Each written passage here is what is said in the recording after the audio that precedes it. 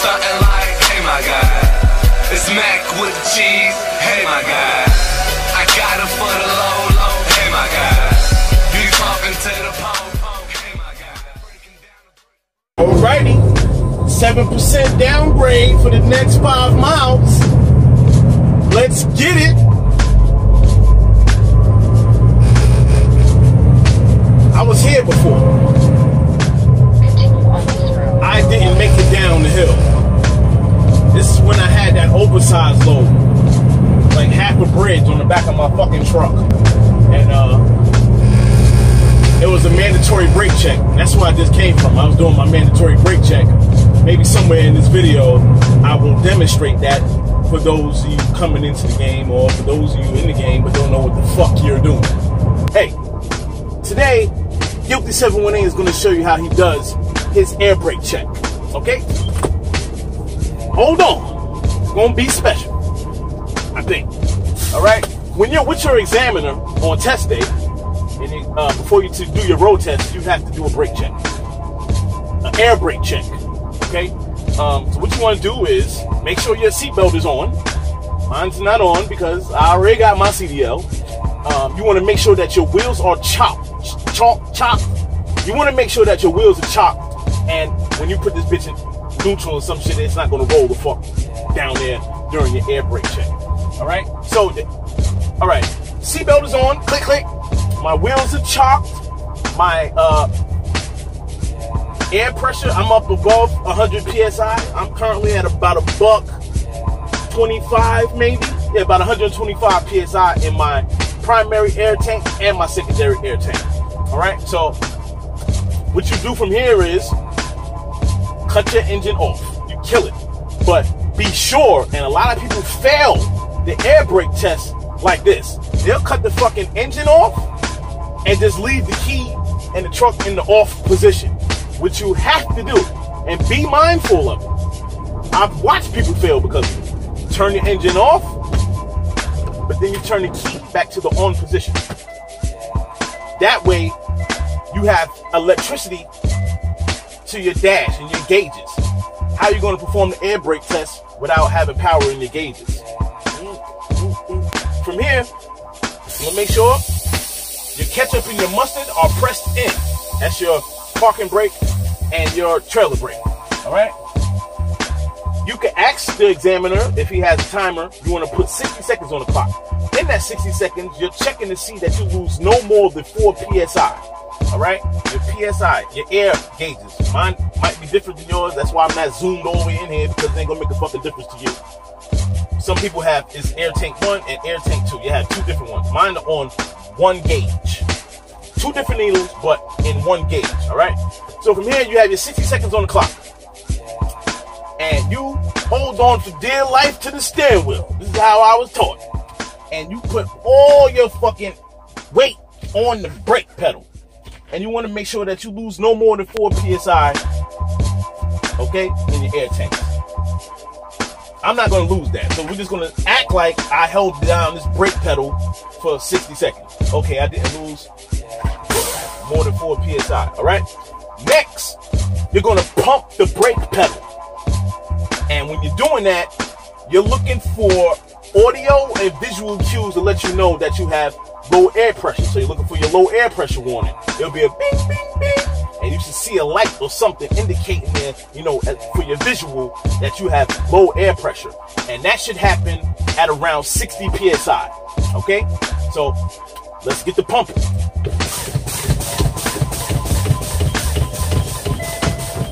Mine's came on at about 60, 60 psi. Okay?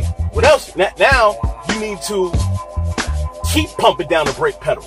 And your trailer brake should pop out and your parking brake should pop out between, what is it? I believe it's 20 and 40 psi.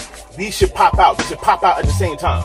You know, one of them pops out at like 40 and the other one pops out like fucking 30 or something like that. But between 20 and 40, both of them should pop out. So you keep pumping.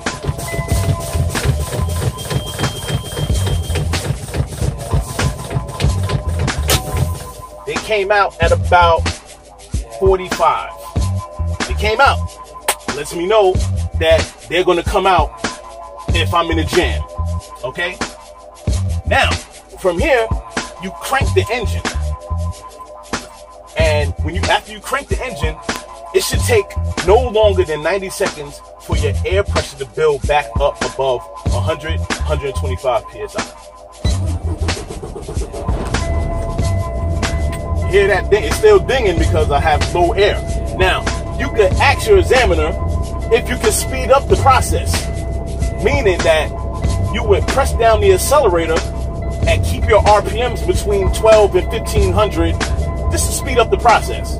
Okay, so before, like I said, around before before 90 seconds, your air pressure should be back up above 100 psi.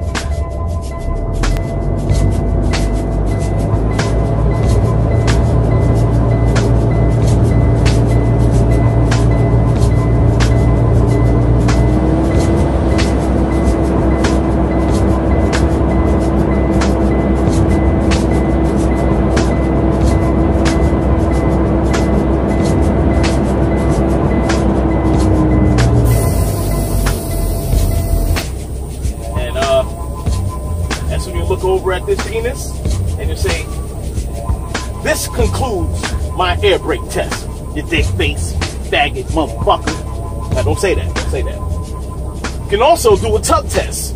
A tug test is to let you know whether or not your trailer brakes work and if your locking jaws are locked around the kingpin. You don't want to pull the fuck off and your trailer not be hooked up to your uh, fifth wheel just because you think so. People at truck stops will fuck with you. All right. So make sure that shit is connected and that your trailer brakes work. What you would do is press in your parking brake and release your trailer brakes. Pull your trailer brake out. Okay. Put it in drive.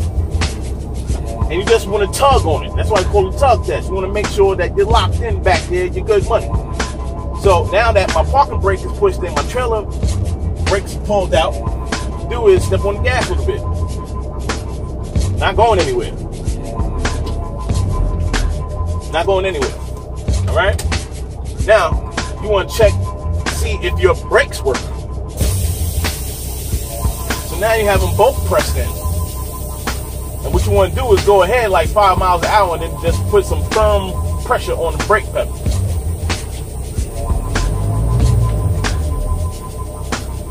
Probably would help if I put it in drive first. That probably would help. It would.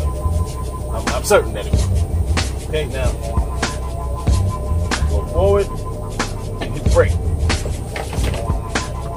Brakes work. That's how you do your brake test. I hope you people have found that little tidbit useful. I'm sure you guys ready to take your test will find it useful. Speed warning. Uh, came through here before and Current warning ahead. I went to do my mandatory brake check and my truck wouldn't build air, which led me to believe, and probably obvious, that if I would have went down this damn mountain without being able to build air in my truck, I wouldn't be here today to bring you this video. Put. I'm gonna slow down to like 25 and set my cruise at 25. I should be going down this bitch at like 40 miles an hour. I don't give a fuck. But yeah, I couldn't build air in my truck. And it could have been a real bad situation. I called my uh, company's outside repair, and of course, they sent out a tow truck. Tow truck came and got me and dropped my ass off in uh what was I?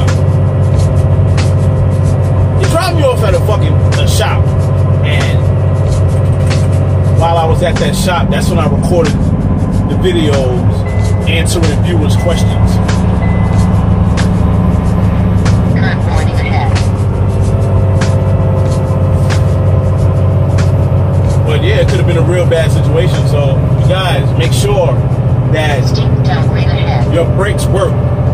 Make sure that your truck can build air. You don't want to know what'll happen to your ass if you don't have area trucks.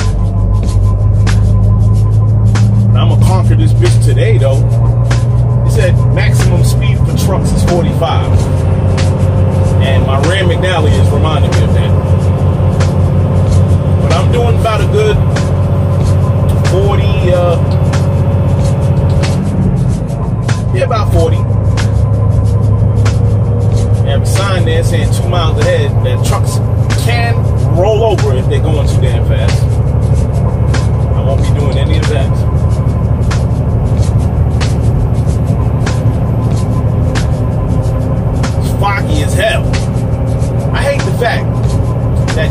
can't see this fog like I'm seeing it. It might not even be fog, it might be a cloud.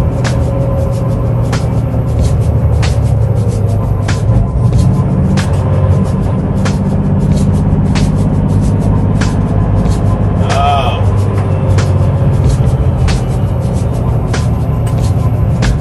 Truck speed limit 45.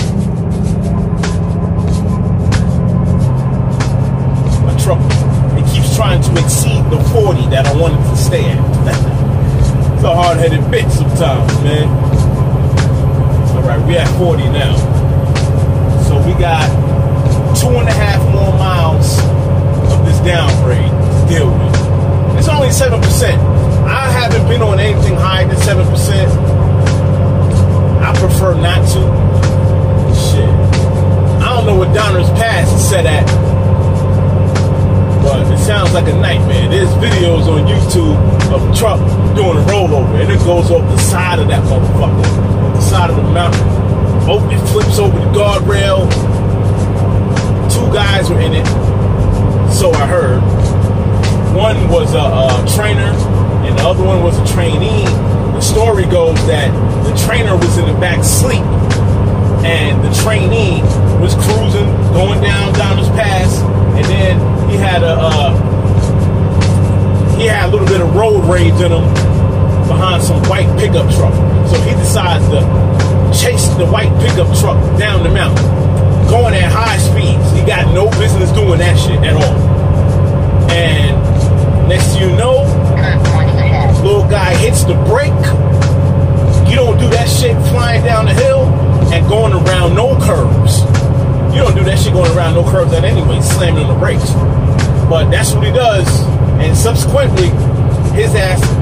Rolls over, flips over the guardrail on the right side, and it was a wrap. It looked real bad. Uh, I just want to know what that conversation was like when those two woke up in the afterlife, as if there is an afterlife. You know, they said that the shit was so bad, the destruction, that the only thing that they found were two pair of shoes. So I really wonder what that conversation was like when they woke up in the afterlife. Yo, hey, hey, hey, hey, motherfucker, what was you doing? You know, spazzing on them and shit. How the fuck we end up here? Just went to sleep, you bitch. But yeah, so you guys really do need to be hella careful coming down these downgrades.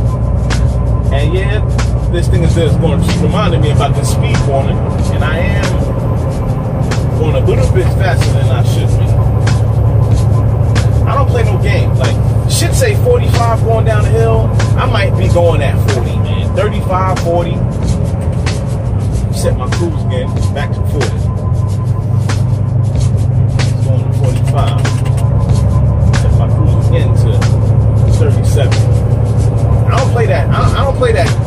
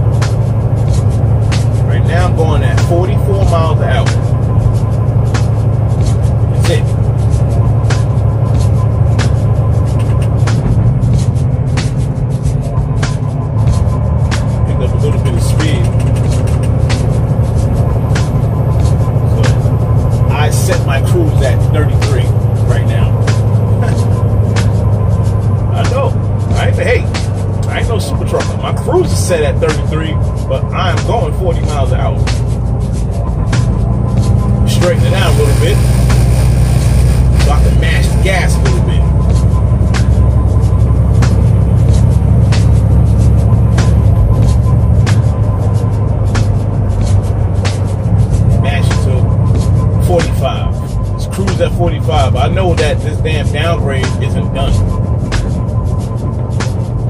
So chill at the 45. Damn, it's a nice little river to my right. You guys can't see it, but that was dope.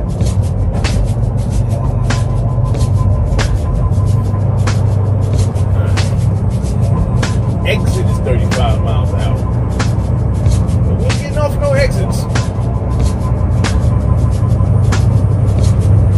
Mountain driving can be beautiful, but it could be dangerous. It could be deadly. Don't ever get complacent about this shit, man. This shit will finish you out here. Think it's a game if you want. You won't find out.